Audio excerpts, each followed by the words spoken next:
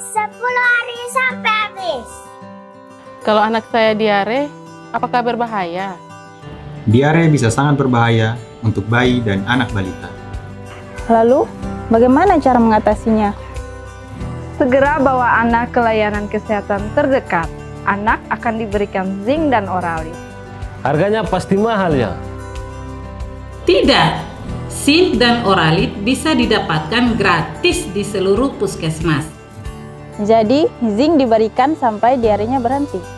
Tidak, walaupun oralit hanya perlu sampai diare sudah berhenti, zinc harus tetap diberikan selama 10 hari berturut-turut. 10 hari sampai habis. Dengan memberikan zinc dan oralit saat anak diare, anak Anda akan kembali sehat, kuat, dan semangat. 10 hari Habis.